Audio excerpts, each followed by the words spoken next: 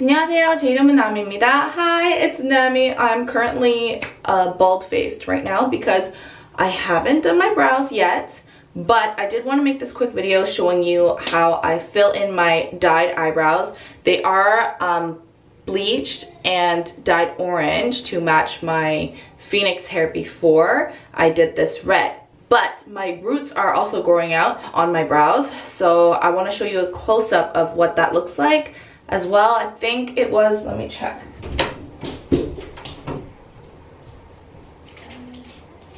It's been two weeks and two days since I did bleach my brows. So this is what they look close up and I'm gonna bring you a little bit closer as well, but I just want to give you an overview of how my brows look with the roots growing under. My hair is like pitch black. It's the like pretty much the blackest black along with my eyes. You can see that there's no almost no hint of brown. Um, that's basically the same shade as my hair. So I feel like my roots give it a bit more shape than it was when I was first bleached and dyed orange. If I give you a nice close-up view, you could see the roots growing there all throughout the brow and this side as well. I have a little bit of a boo-boo. Um, I tried to conceal it, but I got lazy, so To fill in my brows, I just used two brow powders uh, since I've bleached my roots. Sorry, bleached my brows. I'm so used to saying bleach my roots. I used two shades. This one's completely like almost done, but you can see that it's a pretty ashy brown and it comes off quite light and ashy and this one's a little bit more dark and warm toned. This is from a wholesale company that makes wholesale products for makeup artists. So there is no brand on this and there's no name of the shadow. Um, I just bought it at the warehouse, but I can give you a nice close-up view of the color.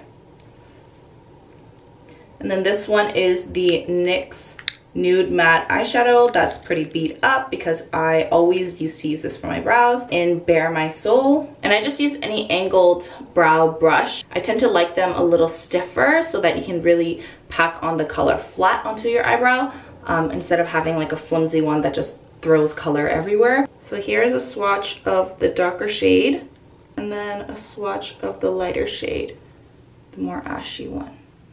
So going in with the dark shade first, I do three different strokes. So I go first under my arch and establish my brow shape and structure. And I generally like to draw um, the more flatter Korean slash Asian eyebrow styles to suit my softer features that aren't as angular and prominent and structured as Western features because if you do like a really angled brow, it does bring more structure in your face, but it could clash with your um, softer and flatter features if you have a face like mine. Take another dab and I go right on top of my arch, build my tail and build the peak of the arch. Oh my gosh, my eyes always twitch. Did you see that? My eyes always twitch when I do something like detailed on either myself or my clients, like eyeliner or stuff like this. So let's just go in with the rest and just fill in the rest of that tail. And then I take another dab and draw in and start building the shape of half of my front brow. Also filling in almost like building the bottom of that front as well with the rest of what's on my brush. And then I take a dab of my lighter shade and I just feather out this inside brow. And kind of go one, two, three.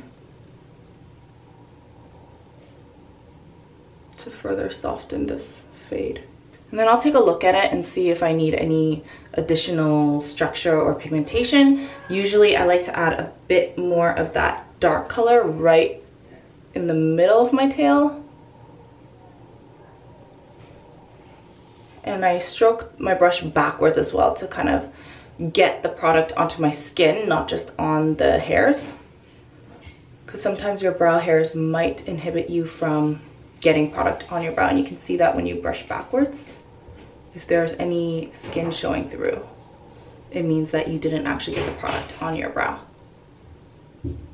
Let's use the Kids Oatmeal Pack to show you how it looks with the brow.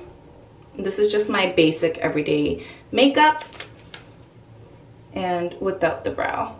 I look like a fresh egg. If you did enjoy this video and would like to see more, definitely make sure to subscribe and hit that bell notification to be notified right when new videos drop. That's usually the time that we do take to reply to your comments and I love talking to you. So thank you to everyone who does come early and I will see you next time.